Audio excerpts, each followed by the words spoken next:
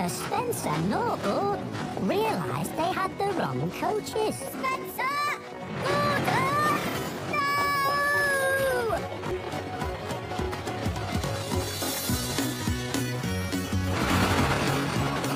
I'll show you who's the better engine, Spencer! we both know who that is, don't we?